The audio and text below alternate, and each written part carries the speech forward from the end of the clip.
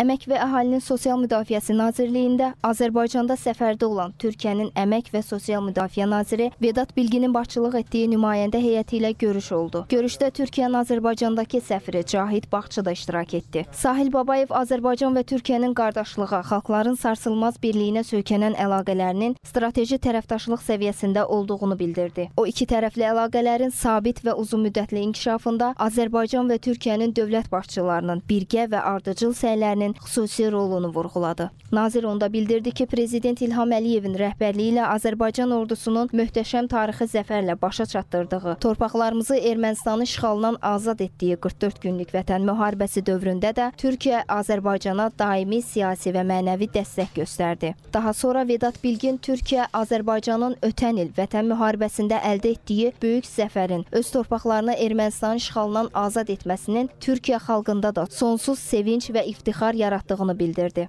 Türkiyədə aparılan sosial islahatları, əldə olunan sosial uğurları diqqətə çatdıran Vedat Bilgin rəhbərlik etdiyi qurumun Əmək və Əhalinin Sosial Müdafiəsi Nazirliyi ilə əməkdaşlığı daim genişləndirmək əzmində olduğunu söylədi. Daha sonra nazir Sahil Babayevlə Vedat Bilgin media nümayəndələri ilə görüşün nəticələrinə dair brifinq keçirdi. Brifinqdə nazir Sahil Babayev işğaldan azad olunmuş ərazilərdə sosial infrastrukturun yaradılması üzərində işlərin aparıldığını qeyd etdi. Onun sözlərinə görə işğaldan azad olunan hər bir ərazidə tam sosial infrastruktur yaradılacaq. Regional DOS mərkəzləri, ayrıca yaşayış məntəqələrində DOS filialları olacağını da vurğuladı.